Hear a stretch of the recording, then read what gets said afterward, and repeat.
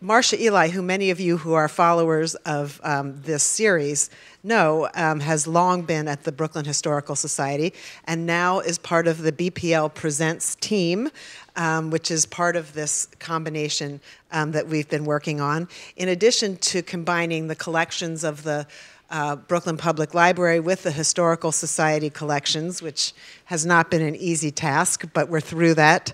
Um, we've been working on combined programming and also on reopening the Pierpont Street building uh, this fall. And so we're hard at work at that, and we hope that you will um, be there to uh, celebrate that opening with us when we're ready. In the meantime, at least for the moment, the building is being used as a place to pick up and drop off books while we're waiting to reopen the Brooklyn Heights Library, which um, is scheduled for this spring.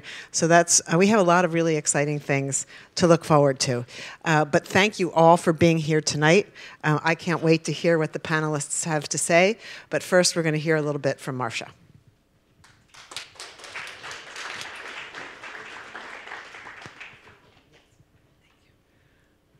Hi, everybody. Thank you, Linda.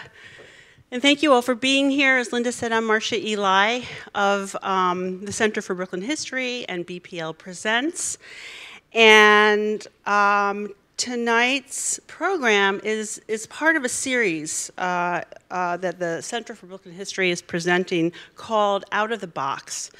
Briefly, BPL's 125th provides an opportunity for us to recognize all that the library does and celebrate that. And one very important part of that work, as Linda mentioned, is stewarding the extraordinary collections, special collections, really, I should say, at the Center for Brooklyn History.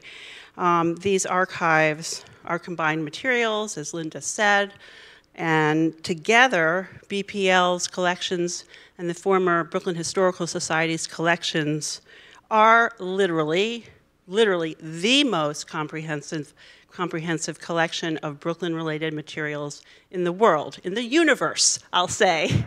So, um, 1,200 collections, 33,000 books, 1,200 oral histories, 50,000 photographs, 2,000 maps, and on and on. So we're celebrating these collections, putting them center stage, by focusing on a few as springboards for discussion.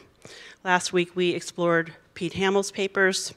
Coming up are programs on our Dodgers collections and our vast materials related to Brooklyn's civil rights.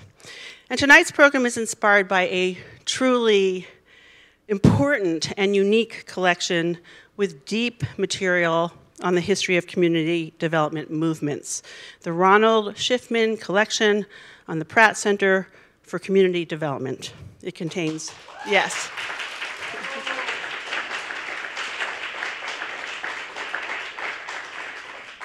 It contains 60 years, 60 plus years of items of all kinds that pull back the curtain on organizing and community empowerment in Brooklyn and beyond. These papers provide case study after case study on building multi-racial, multicultural, economically diverse neighborhoods, and by extension, building an equitable, inclusive, and democratic society. I want to thank our partners, the Pratt Graduate Center for Planning and the Environment, and the Pratt Center for Community Development for joining us and presenting this evening. I want to welcome Frances Bronet, President of Pratt, who is here with us this evening. Uh, and I also want to invite all of you to share your questions tonight. Write them on the index cards that you were given at the, at the door, and our ushers will collect them uh, through the program. So uh, in a moment, I'm excited to bring up a truly extraordinary and distinguished panel. But first, here is a brief presentation, an overview of the collection presented by my former colleague, the person who had the privilege of processing this collection, Maggie Schreiner, who was a former archivist at Center for Brooklyn History. Maggie.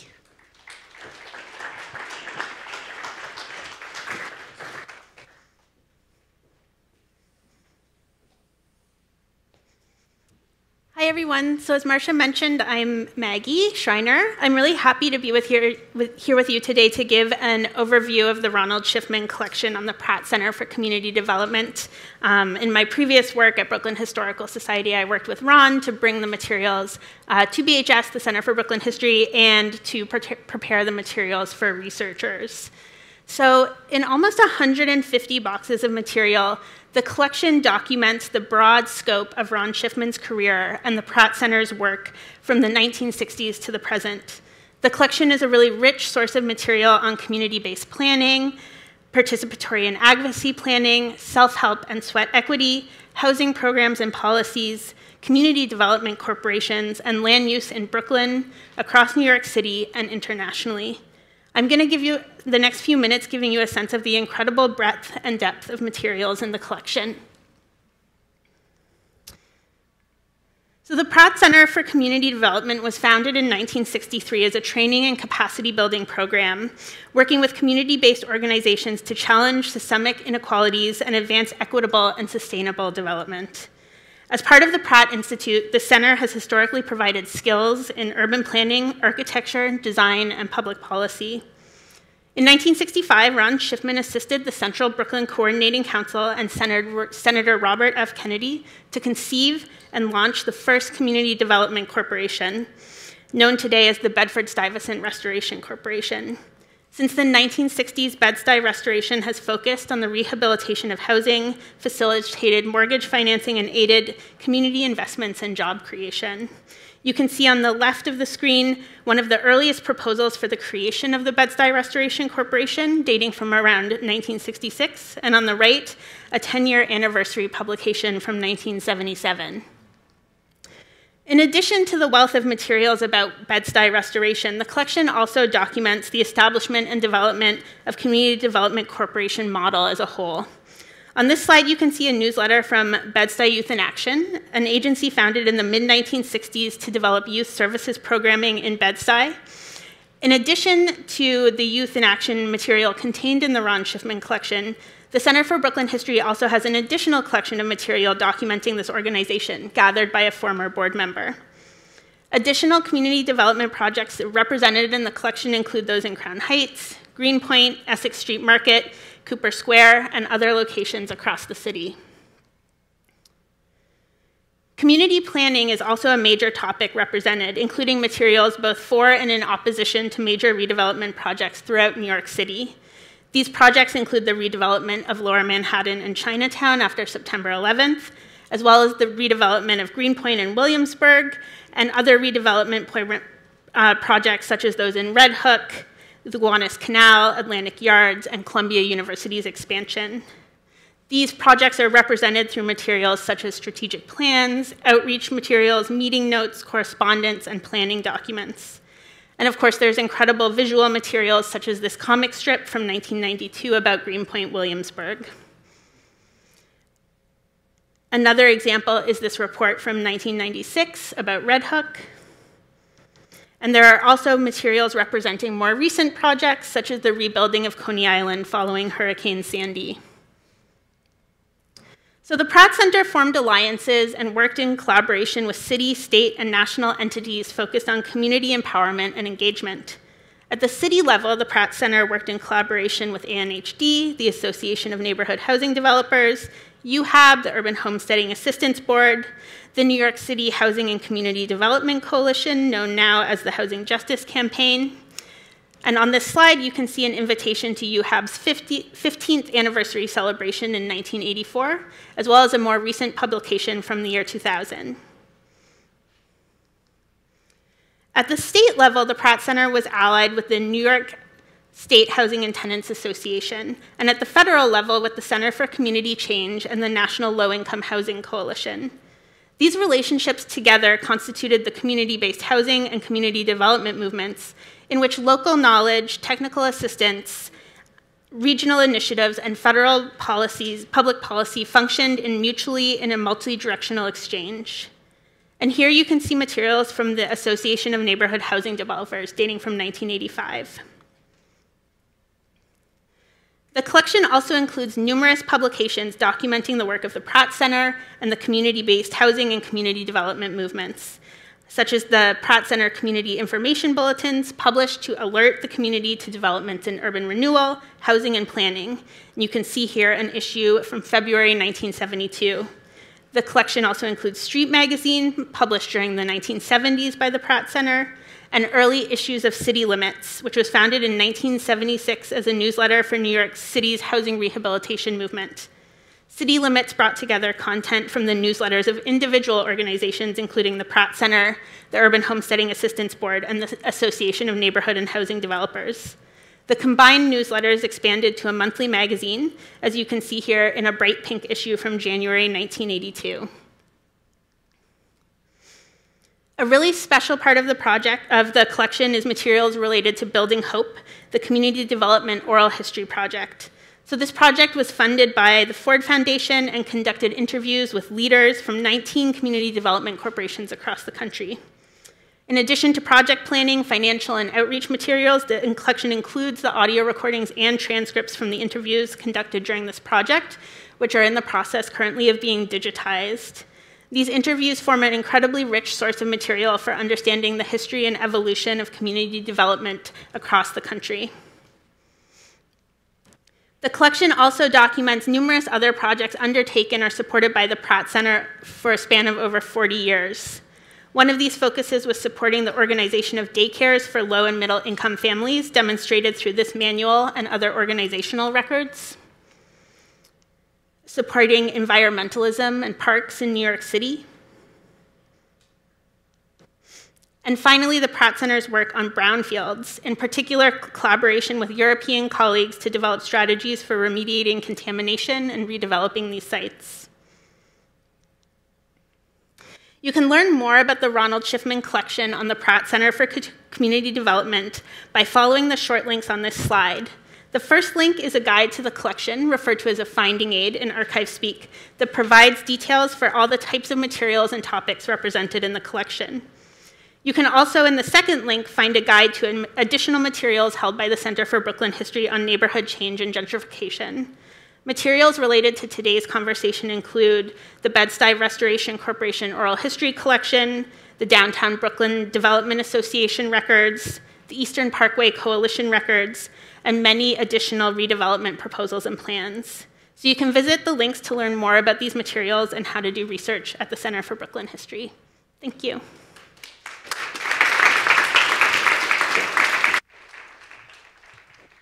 Thank you. Thank you, Maggie. And now um, I want to invite our panelists and moderator up to gather on the stage.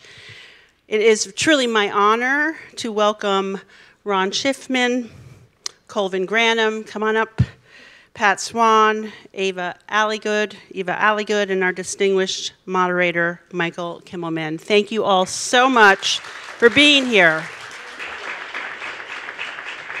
And I'm not, not going to le- read long bios because you have them and you'd much rather hear them in conversation.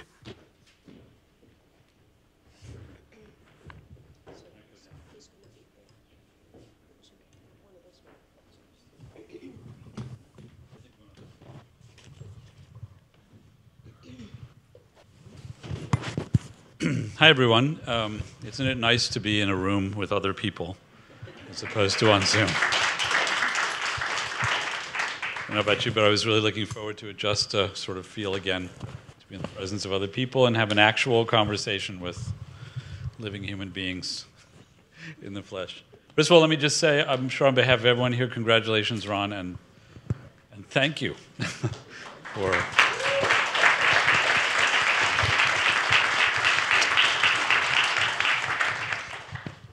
So we're going to have a conversation that ranges widely, I think, and hopefully in a natural, rather improvisatory way. We're going to talk about community development. So let me begin by asking each of you, in turn, more or less, to describe what community means. I think I'll just prep it by saying, I think especially in areas like central Brooklyn, um, this is a complicated subject these days. It's not obvious. Obviously, the meaning of this term has changed in, over the years. Ron, let me let me start with you. What is what is the meaning of community? You want me to start? well, the best definition I've ever heard is it's that line. If you ever cross, you get beat up. All right, uh, but uh, we always, I, at least I always looked at it as something that the people who come to us define, rather than my taking the responsibility of defining who the community is. And there obviously are a variety of communities that occupy the same space and or allied spaces or connected spaces. So I would see it in that perspective. But while I have the mic, I have to say one thing, and that is it's the Ron Shiffman collection, but it's based on the work of a whole bunch of people.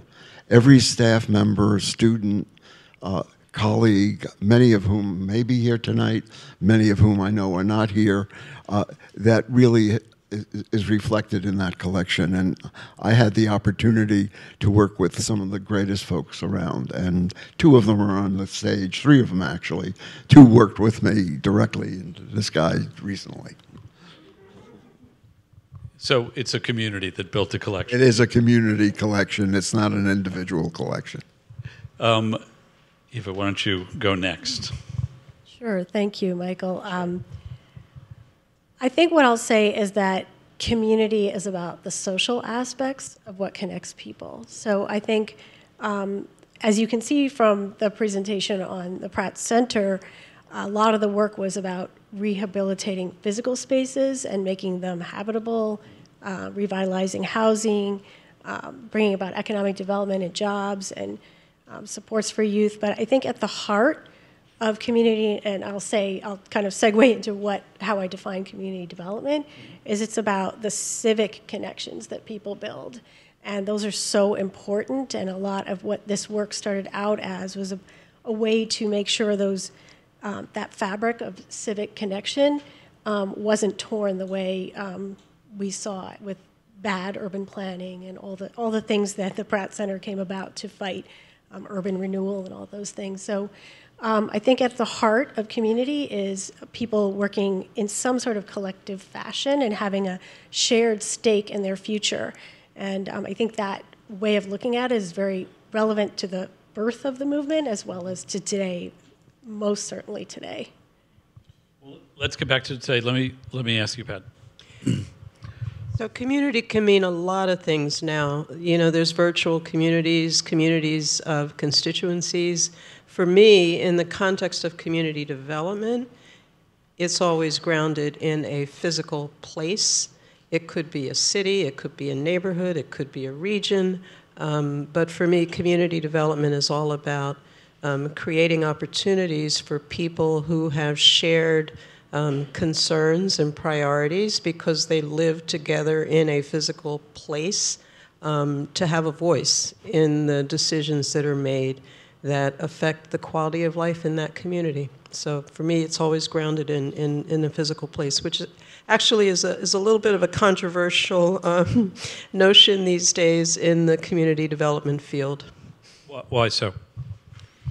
Um, there are a lot of very effective strategies, organizations that are approaching the what they define as community development. That's not bound necessarily by a physical space, but bound more by common needs or priorities of a constituency or a group of people or you know that kind of thing. And there's a place for that. It's great. It's wonderful. But but for me, community development will always be grounded in a place.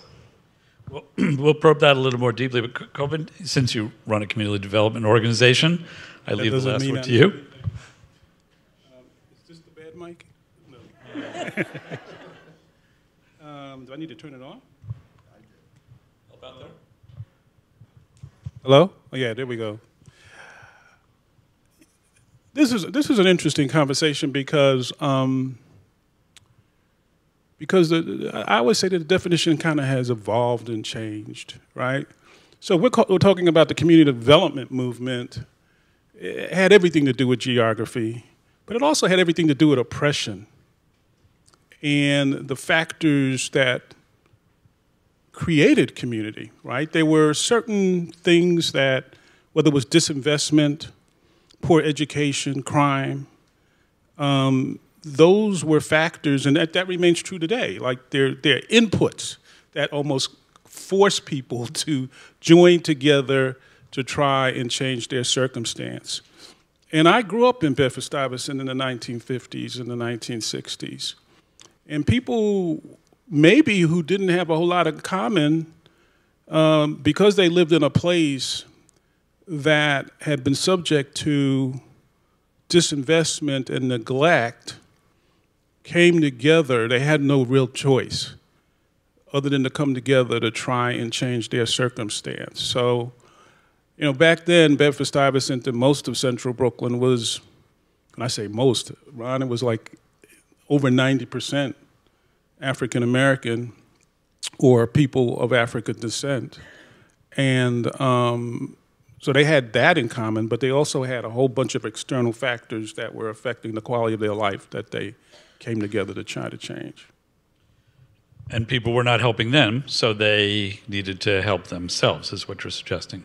Correct. okay, but obviously we live in a very different moment than when you were growing up or when um, the restoration was created. How do you define the Bed-Stuy community now? Well, I, I, I am one who um, likes to use the term the incredible shrinking Bedford Stuyvesant because um, when I grew up, Ron, I don't know if you remember this, but there were probably like 450,000 people in Bedford Stuyvesant, and it was a label that was kind of, they were, when I grew up, look, I, I grew up in what's now called Clinton Hill. We didn't call it Clinton Hill when I grew up. You get beat up for calling it Clinton Hill. You either lived in Fort Greene, or you lived in Bed-Stuy, or you lived in Crown Heights, um, or you live in Brownsville or Ocean Hill. Um, but my point is that back then, that term was used to denote wherever people of African descent was. It was another vehicle for redlining, right? So that's why I call it the incredibly shrinking Bed-Stuy, because um, now it's right back to whatever the designation was historically, um, and it's maybe 130,000 people as opposed to when restoration was working, it was dealing with hundreds of thousands of people.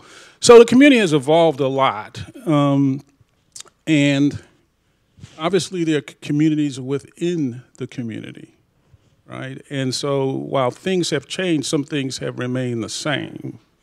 And so for some populations, um, they're still fighting for access to quality education.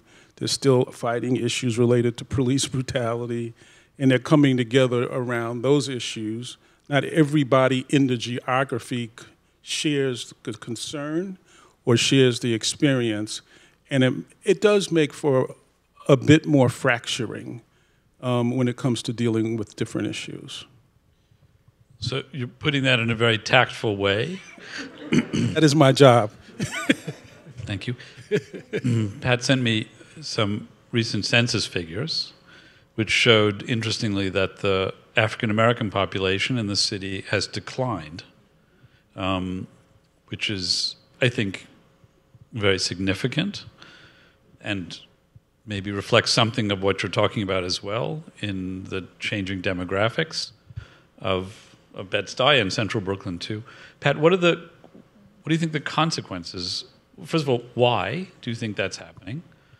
And and what are the consequences of that obviously on communities like those in central Brooklyn? Oh gosh, the why is, is a multi layered answer. I think part of it is um, that, uh, I mean, this is the issue that everybody's worried about and concerned about, I think, across all kinds of economic levels, is housing is not available, and it, when it is available, it's not affordable.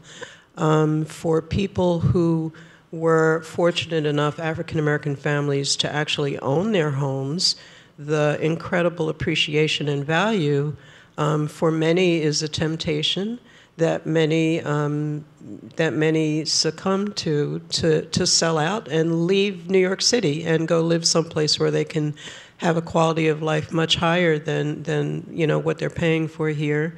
Um, I think that um, in some respects it's uh, ironically a function of the success of community development organizations that have worked so hard over the years to, um, to bring, you know, better schools, better, better commercial services, better police protection in some cases, and all kinds of, you know, positive things to communities that were basically left for dead in the 70s. And so as these communities improved, they became attractive to other people and other, you know, to white people and, and so forth. And so in a, in a very ironic way, um, you know, to some extent, the loss of black, black population is a function of that.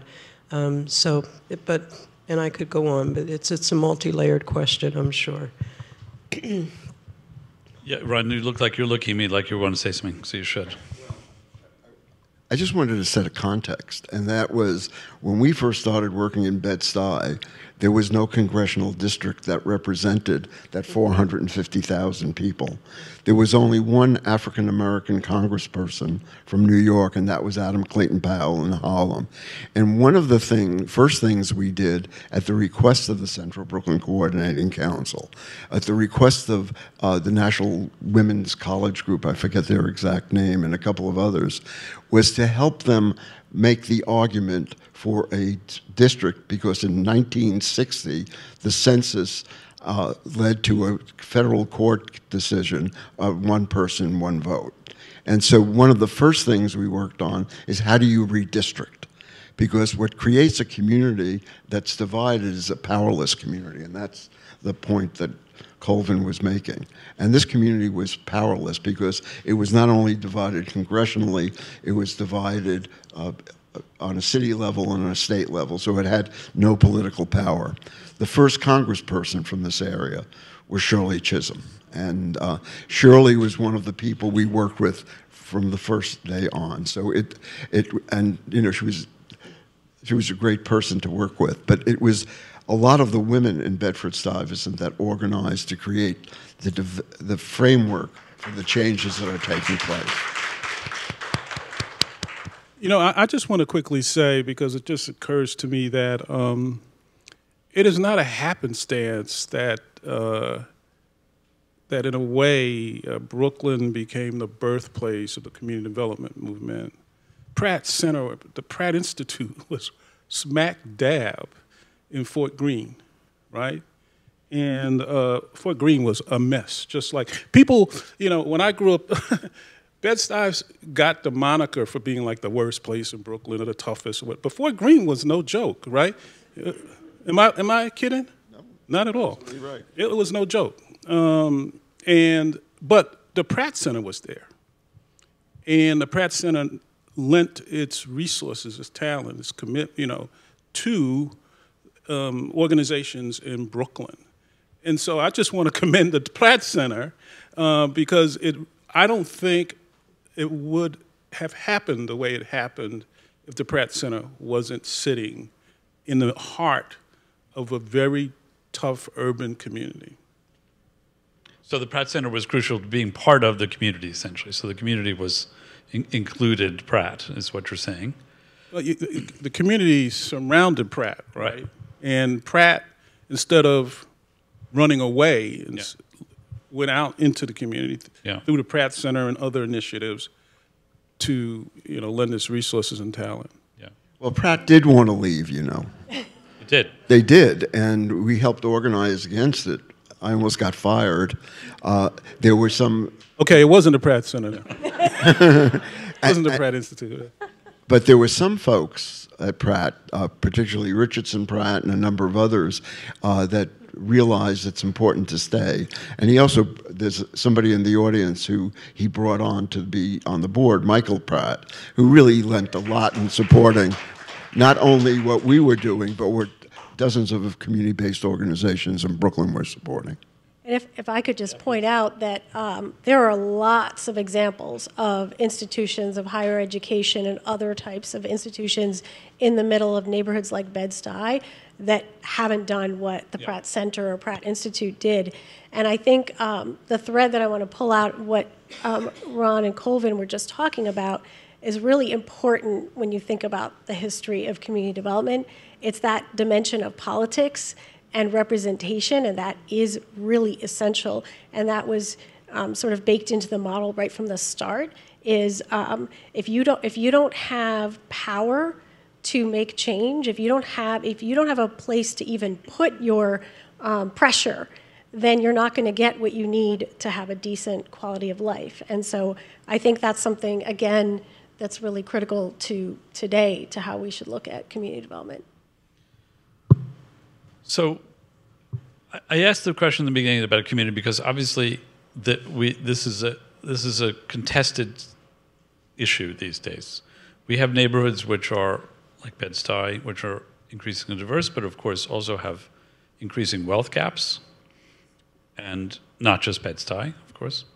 Um, and we have um, communities that are divided around their interests. I, you know, look, I, I write about um, issues around development often, and I'm increasingly struck by how changes over the course of the time we've been talking about, since the 60s,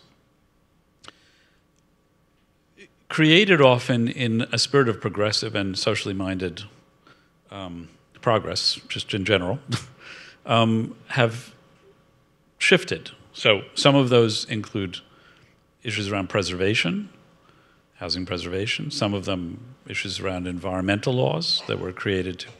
So often these these policies, and you talk about political representation, we also live in a period of gerrymandering. Um, I, I just, I'm really, I think somehow at the heart of the issue of community development is this larger question of how community development can work to improve the lives of those people who are most underserved and around which community development was created.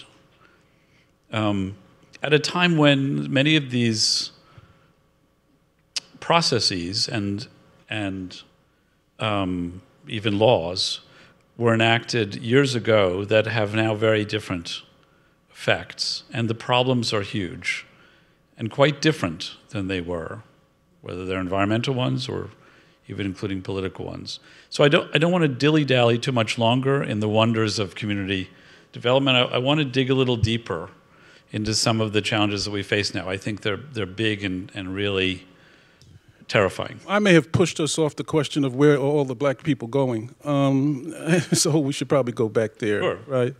And um, and I couple it with the question of what is happening to middle class in New York, period, mm-hmm. right? So part of, at least as I understand it, and Ron can shed some light on this, a part of also what also made Bedford Stuyvesant work as a place to really launch a robust community development effort was that it had a significant, it had a relatively high percentage of African American home ownership, right? And um, and and and that was important because obviously, to the extent that people own, they have a deep stake and a commitment to trying to improve, even if it's just, I just want to see the value of my home improve, but it goes much deeper than that. And so as as home ownership has declined, not just in Bedford Stuyvesant, but across the nation for people of color, right? Because the home ownership rate in the nation today is lower than it was in the 1960s, right?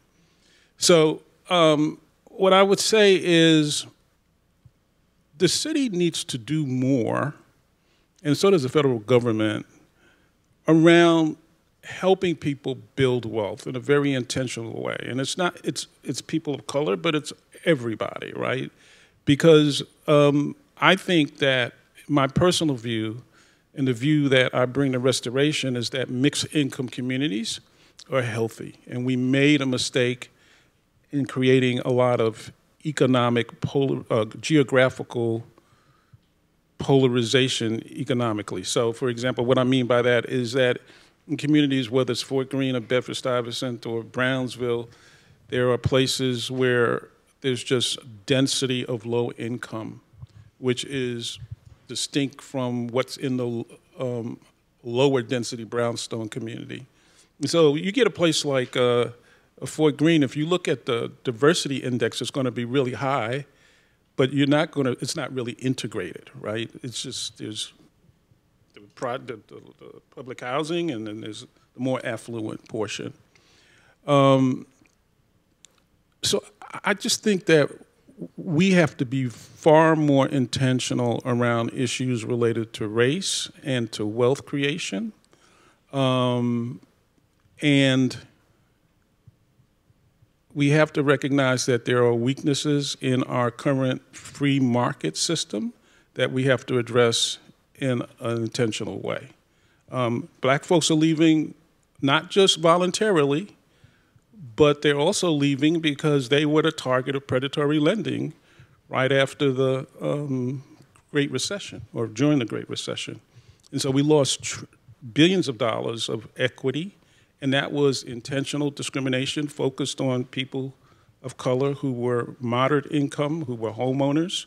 So we have people who are striving to do the right thing, to own, and who become victims deed theft has been concentrated in communities of color. So there are racial dynamics that are driving people out that we don't address, deed theft, all these other kind of, you know, predatory lending.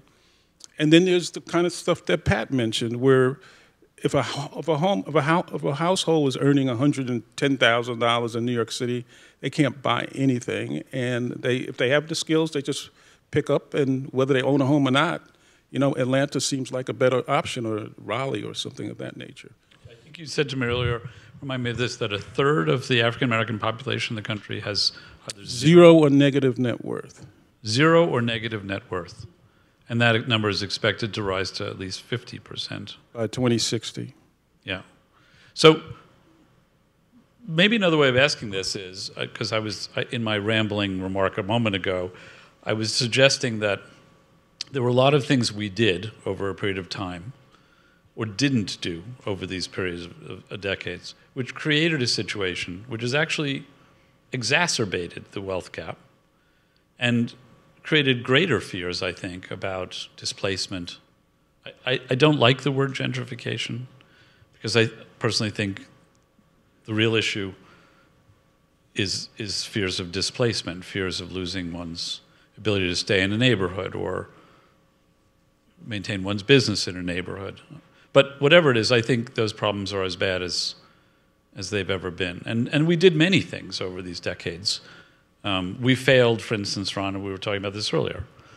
We failed when, we, when there was city owned land to think ahead. You were thinking about banking land the city was trying to just get whatever money it could by selling land to landlords. Now there's very little or virtually none available on which to build affordable housing that makes it economically possible, or, or also to provide people with land in order to build their own wealth. The reality was in the late 60s and through the 70s, we were losing about between 30 to 36,000 units of housing a year. That doesn't mean they were totally disappearing, but owners were walking away from them. The city had a huge in-rem housing stock. And they were walking away, just, just to be clear, because I think not everybody here will remember that moment. Yeah. That, that, that was, they were walking away from properties because the properties were valueless, right? Yes, or they were afraid of maintaining the building. Uh, and, uh, you know, I once described it as five family, five 20 family units a day, a, a day being demolished. And I said at that time, if a foreign enemy were bombing those, we'd, re, we'd mobilize all our resources to address that enemy. That enemy at that time was redlining. That enemy at that time was insurance redlining. It was racial discrimination. It was a whole set of different factors that came together. So part of what we talk about community development has to be place-based, but part of it has to be issue-based. Mm -hmm. And how do we really garner the political power to have had in the city the brains to land bank that for public purposes? We had a, a, a housing commissioner at that time who said, well, New York City is shrinking, and that by uh, a, 1983, Roger Starr basically wrote an article in the New York Times saying New York City would have a population of 5,300,000 by this time. And we're closer to oh, well over 8 million. And so what we have to begin is to develop not only the policies and the programs, but a vision of what we want to accomplish in the future. And I don't think that's been there. And I don't think we had the power, even though many of us were arguing. And it wasn't just the Pratt Center. There were groups being led out of Washington, D.C. by the Center for Community Change, uh, the people's welfare rights movements, all talking about how do you build wealth in the black community. It's not something new. There, there may have been different approaches, but it was constantly being pushed back. It was constantly being rejected because that political power base didn't exist. I want to pick up on the, the vision plus political power and push back a little bit, Michael, on your comment that there's no, you know, unfortunately, we're not back in the bad old 70s, and so there's no, um, no properties to, to, you know, try to, with vision and political power, put towards addressing affordable housing and the racial equity gap. And my pushback is to point out one example. There are many, but I'll just point to one. Hudson Yards, 10 years ago, 15 years ago, was a wasteland of, you know, abandoned, well, it's a, it's a different kind of wasteland now. And billions, billions, billions of dollars have been invested in creating a community there. For who? For who? And so I kind this is a city where, you know, when when there was land needed for to extend Manhattan out into the bay, we just created land. I mean, this is a city where um, possibilities are limited only by imagination and political will. I understand there's lots of challenges. You know, the environmental challenges and, and issues are, are certainly, you know, to the fore right now. But still, let's not just accept that, oh, well, too bad there's no more in-rem, you know, buildings, and so I guess we can't do anything about the housing crisis. No, there's, there's ways. There's create, creative ways with vision and political power to, to make it happen.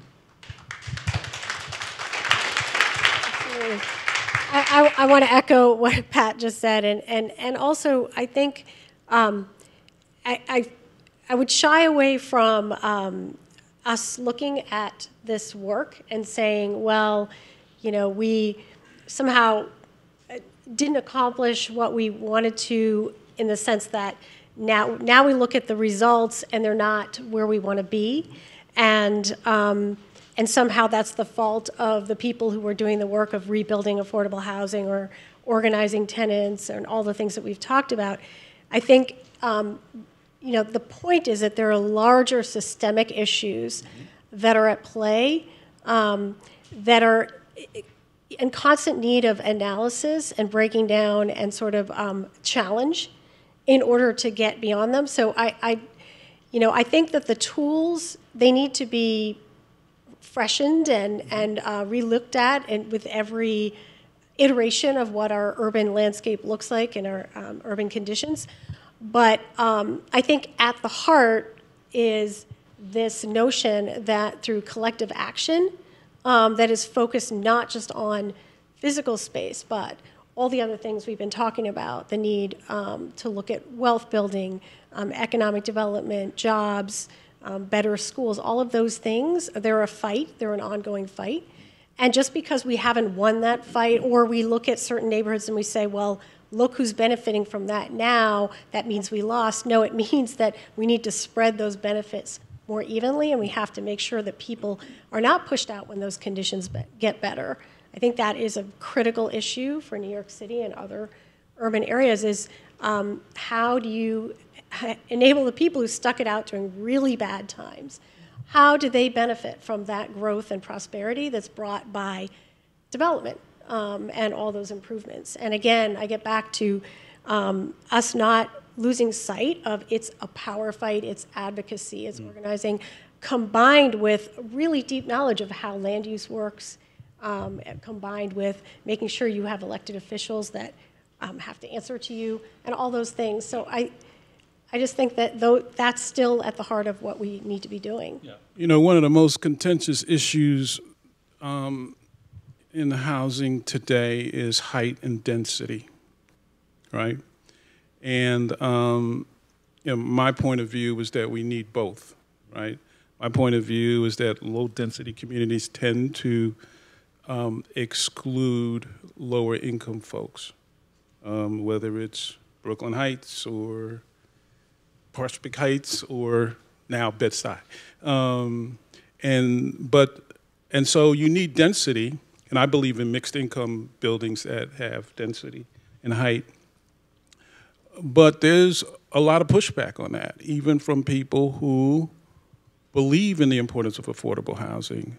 We do have a finite amount of, and I don't know where Ron stands on this because I think it's a complicated issue. So part of this is to get him to say something. Um, but um, right, so I'm a proponent of mixed income, taller buildings. I believe in a living city. I'm not so much an adherent to uh, contextual this and contextual that. I mean, I have respect for what was done in the past, but if it's not serving us today, I'm like, let's get rid of it. So when I'm, you know, Thanksgiving, we have arguments about whether you should be able to see a building from Prospect Park. I'm like, yes. And others are like, no, because the park was designed so that you would never see a building from it. I'm like, that's the past. Um, I just think we need to make this city work for everybody. And we, to Pat's point, we have to innovate in ways that we haven't done in the past. We have to think out of the box about how to create opportunities. And we have to understand that the city was designed to work for the people who were there when it was created, whatever it was at the 1800s or the 1700s. And to the extent that we hold on to all of those things, and I know we want to cherish certain architectural features and other historic things, but they should not trump the current needs of a diverse population, economic and racially diverse population.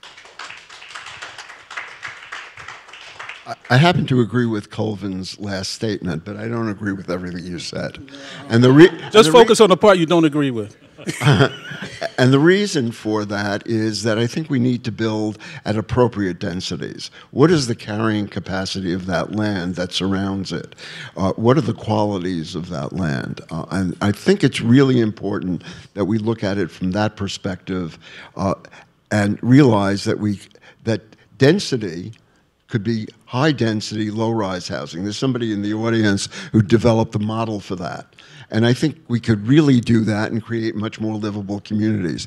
There are proposals for parts of Williamsburg where there will be buildings now that are supported by some of the groups that are in the room, by the way, uh, that will create a dynamic in that community that families will not remain it will it's just going to create the kind of density and the height that will cast shadows literally over the community and its future and i think what we have to do is begin to think how do we design the best communities how do we make sure we build wealth for people, not necessarily if they are built on real estate alone. There are ways of doing that, and we have to think about wealth building as part of housing strategies, but uh, absent of housing strategies. We've got to start thinking about place-based clients, but also uh, uh, clients that are advocates for low-cost housing, uh, or clients that are there for uh, environmental justice and climate justice issues,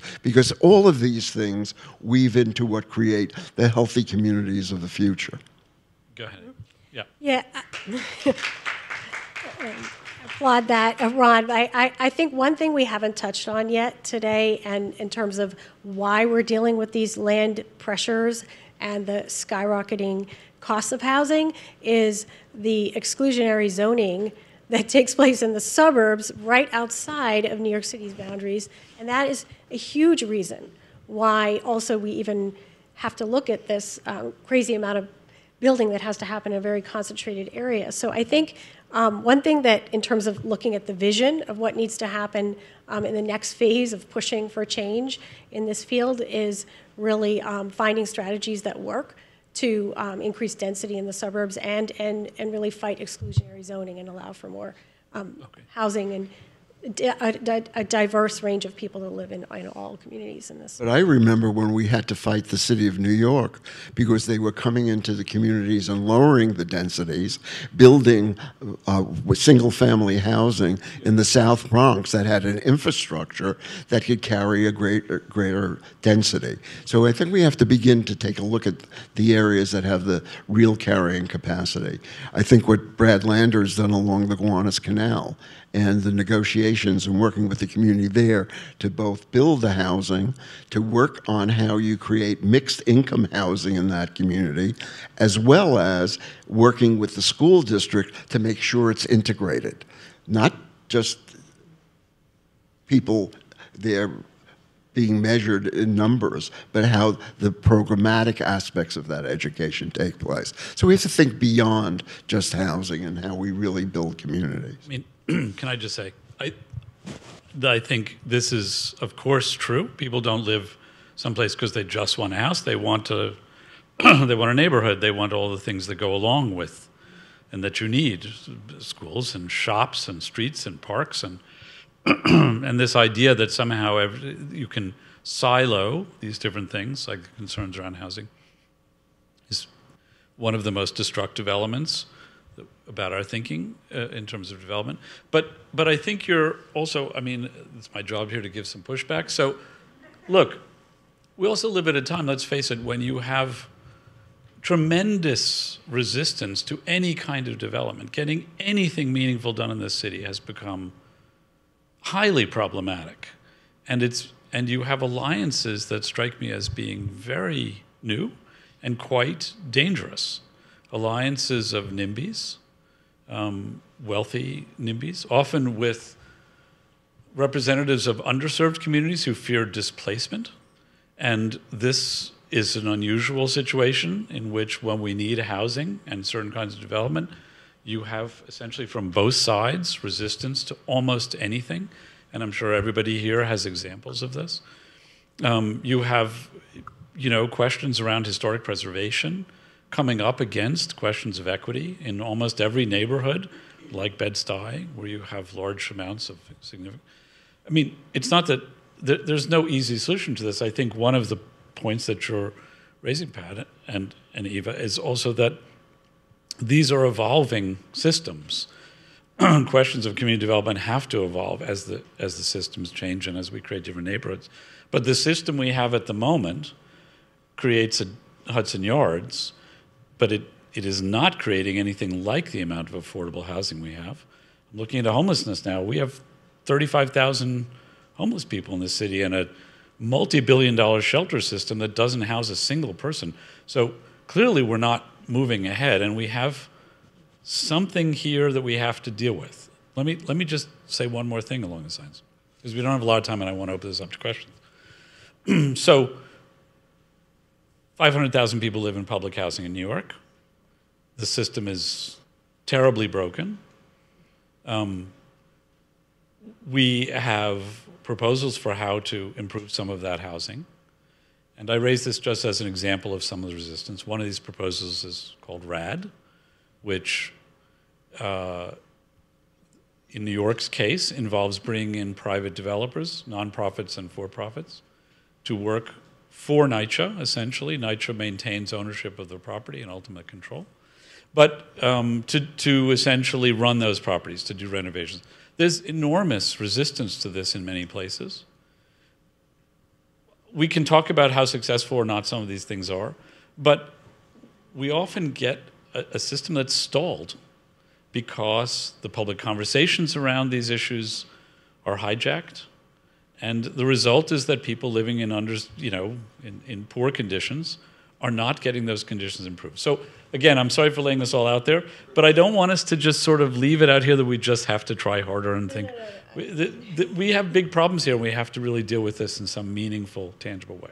If I could say two things on that point, um, I'm very involved in that um, particular um, program called PACT Yep. by um, New York's. City's Housing Authority um, in, in, in a way dealing with um, some of the things you're talking about. Um, and when I say I am um, talking about the role that I play at, at LISC New York City, which is uh, where I work as deputy director. Um, the reason I mention this is that uh, a lot of the issues are around information and trust. Um, and that, and so to your point about civic discourse and being able to um, have people engage in some sort of conversation where they can weigh the pros and cons of a particular proposal and um, weigh in in a way that at the, ultimately, hopefully, won't make everyone happy, but will will lead to some improvement in quality of life or um, one of the outcomes in, in Yep. terms of NYCHA is, is saving buildings that are literally falling apart. Um, the, the important thing here is that tool of bringing trusted information and actual facts about um, what is being proposed, and also being um, having a forum where uh, things can be challenged and, and debated, uh, but in a way where uh, there are uh, sort of neutral parties that, to some extent, can at least offer up what the options are and explain the process, which is again sort of the origins of advocacy planning was all about bringing information to people because a lot of these processes are obtuse for a reason. Um, they're complicated and they get very technical and they get manipulated and, and um, they get gamed by those who have all the lawyers who can go through that. I mean, is this, I'm, I'm sorry, I Mm-hmm. didn't mean to interrupt you, but I- Colvin, is this then something that, that trust, that sense that the community is hearing from people whom it can trust, that is, I assume, a a fundamental role of an organization like yours, to act as an agent of good information that the community, Yeah, well, yeah, yes, but we're not always seen as trustworthy, um, to be honest with you. yeah. Right? And you want to say something? Yeah, I do. the way we got started was uh, a group of ministers from Bed-Stuy wanted to were afraid that a lot of the middle income families would move because of the civil rights movement that was taking place.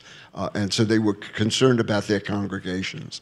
What happened was uh, they were the ones who asked us to come in. When we came in, we were blasted. Why were we there?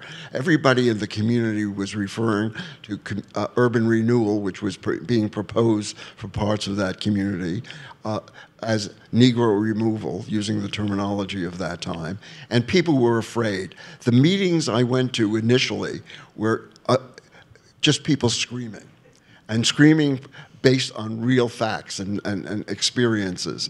What we did is we worked with them and the people who actually challenged us the most. We took them to various different places to begin to see what alternatives were available, what was the best way of doing things. And after about a year, they came up with their own plan for renewal.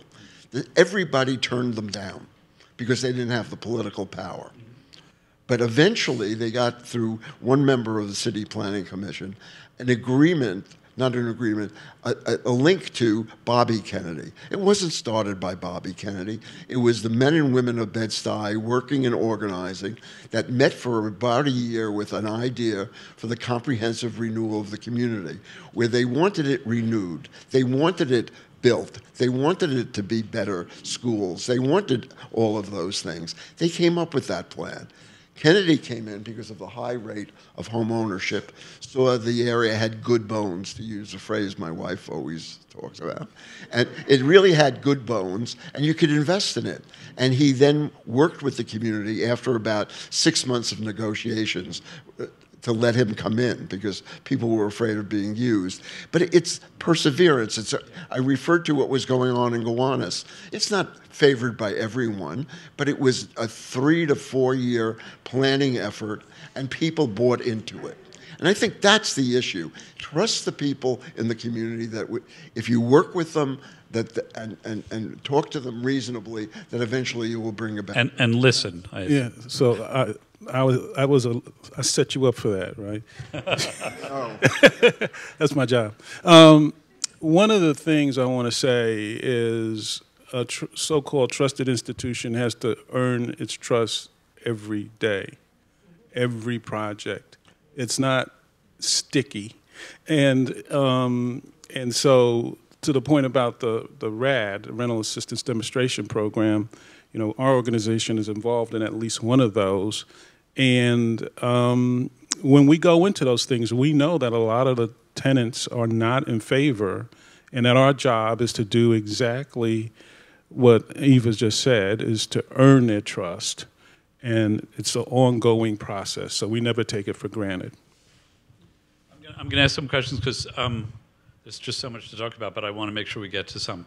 Um, so here's one. How can we improve food deserts um, in places like East New York? Food is one of these issues now that um, I think um, there's a there's a whole movement, a lot of it driven by um, Black African American community leaders around healthy food, and um, if ever there was an opportunity for building wealth, you know, I believe that there is a lot um, a lot of potential in terms of supporting and nurturing and, and, and promoting and giving all kinds of infrastructure support, the same kind of things we do for housing, to people who are trying to build food businesses. And I know Eva's been um, at the core of a lot of that um, work at LISC. And so, um, so I, I've just seen an incredible amount of energy, enthusiasm, expertise, and commitment around food um, the pandemic only made it even more more intensive. But it is but it is very hard to get, say, a supermarket in a poor neighborhood because supermarkets are loath to they work on slim margins and there, what was that program that had started years ago and didn't really go Kathy Goldman at the Food Resource Exchange. Community Food Resource uh, Community This had a program too. Fresh, yeah. Yeah. Well, the first thing, one of the first things we did was bring a supermarket into yeah. the community. The, the restoration did, yeah. Right. But it's it is difficult in many places. I think the, the one thing I'll just add to what Pat was saying is I, it needs to be a multi-pronged strategy. So a supermarket is one piece of it, right. but um, there are lots of other ways to get. Uh, I want to give a one credit. Perry Winston, who unfortunately is no longer with us, was a member of the Pratt Center staff, and he worked with the residents of East New York to launch one of the first farms, hmm. community farms. It still exists today, and it's vi being visited by many others. He, when did he do it, Aisha? I thought I saw you here. It was in, I think it was in the, in the in the 70s, right? Late 70s or 80s. And, and I think that's one uh, we have to begin to think about using our rooftops and some of our streets. There's a guy in Spain who basically is planting fruit trees in all his new town developments so that you can actually can grow, you can have linear farms as well. Maybe a little less parking and a little more linear farming. Much more planting and less parking. a bad thing. Can you expand on the role of zoning, rezoning decisions, or availability of affordable housing, unavailable affordable affordable housing, how Bloomberg administration gave away um, something rights, sorry, with no, it's not air rights, but someone wrote this out there. Development rights, thank you. It was a, abbreviated. Gave away development rights with um, no give back, for example, um, inclusionary zoning. Okay, who wants to run with that? Yeah, because I'm a zoning expert. Not really. um, Bloomberg was against mandatory inclusionary zoning, um, which which requires developers who get increased um, density to set aside a percentage of their of their of their units that they're developing for affordable um, housing the affordability by definition, and so it, you know there's some contention, of course, in New York, this being New York, um, about what affordability means, and the tranches of affordability are are always movable.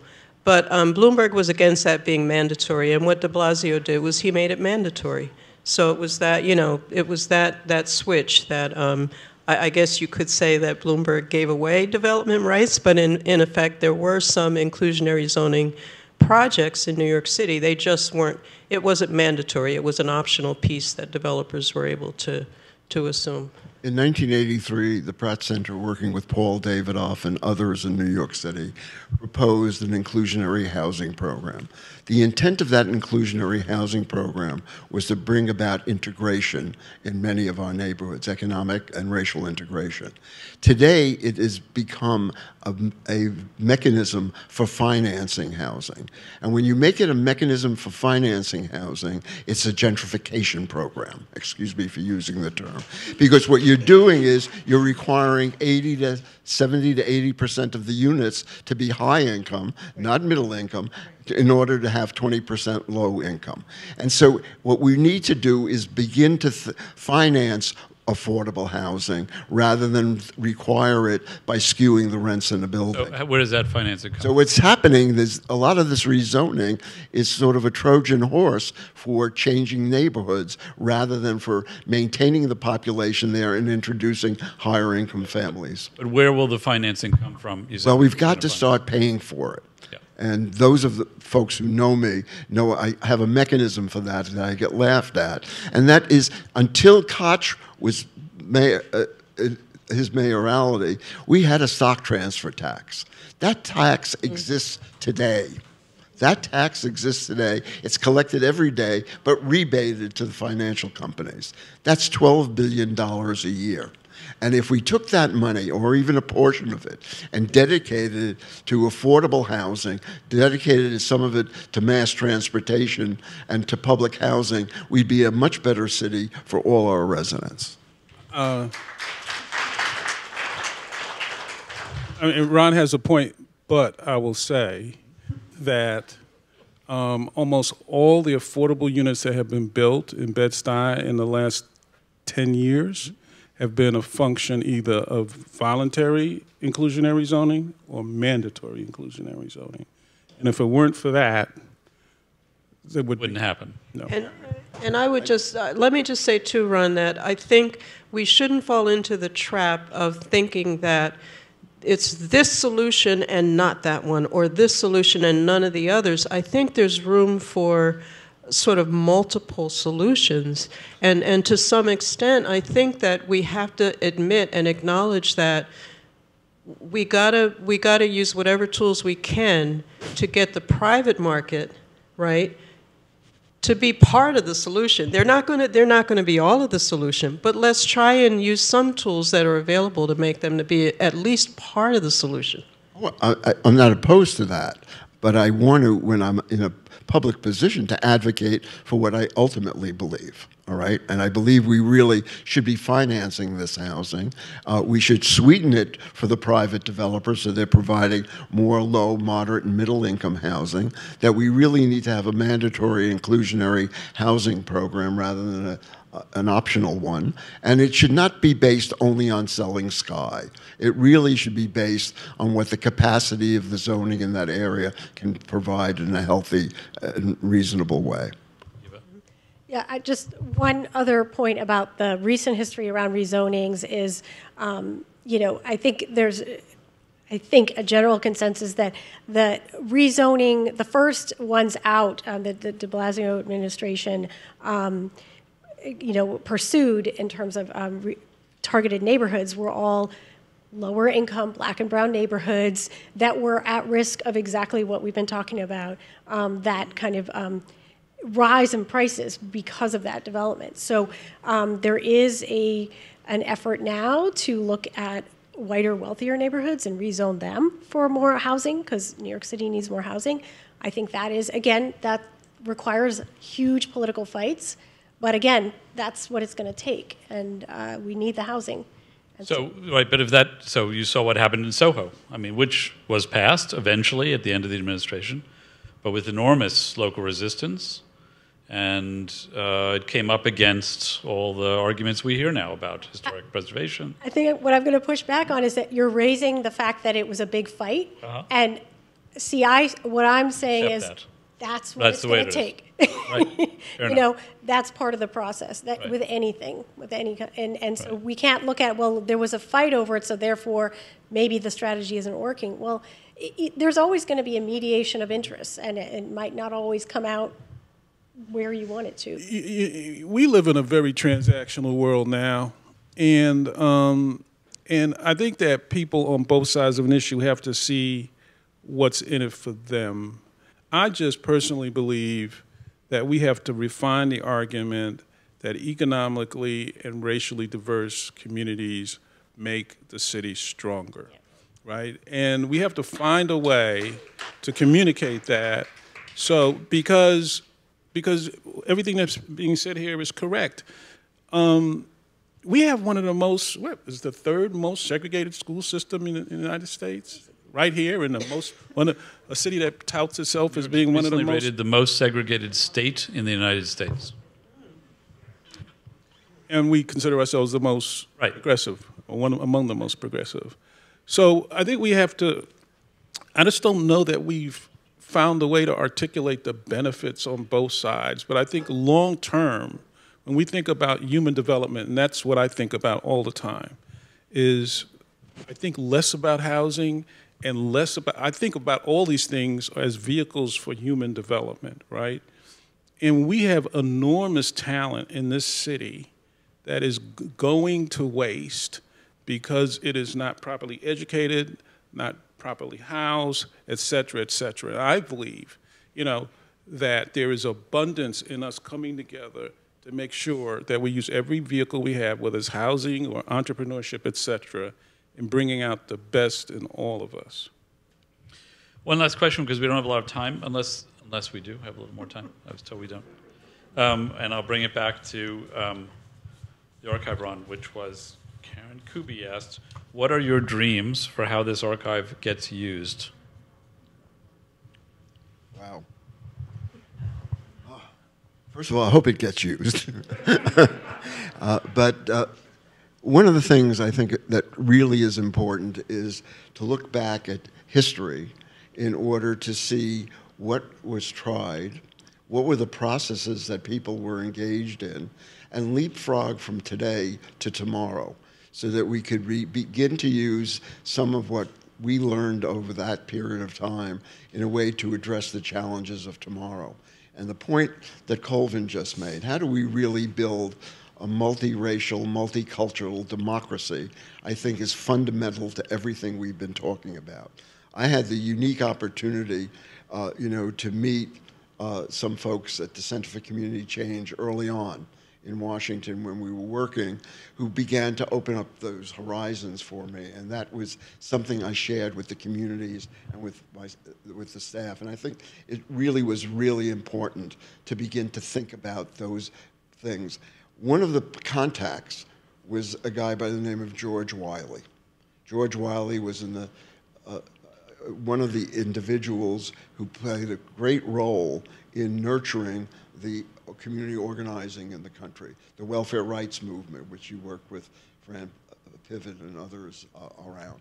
He also was the father of Maya Wiley, and Maya Wiley, uh, who then came to us at the came to me at the Pratt Center and Rudy Bryant and said she ha- had this idea of an organization, and we worked with her and she formed something called the Center for Social Inclusion.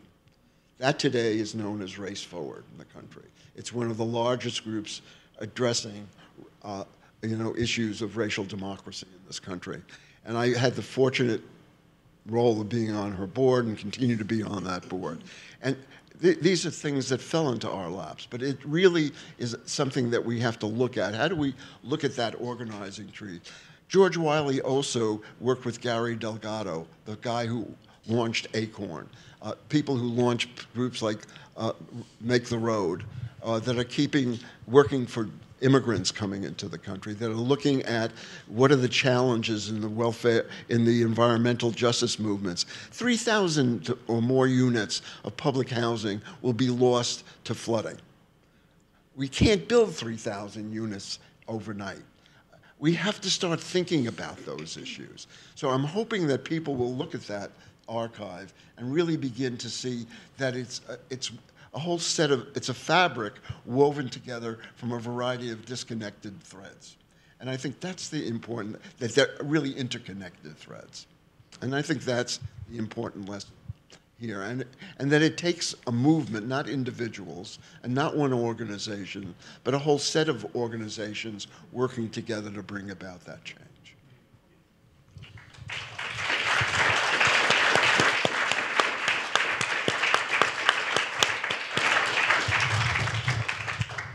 So thank you, Ron, and thank you, Eva, thank you, Pat, and thank you, Colvin. Um, and again, Ron, congratulations, and hopefully people will, just as you say, look back through the archives in order to figure ways forward. That's, that's the best we can hope. Um, and thank you all for being here, um, and uh, welcome to the real world again.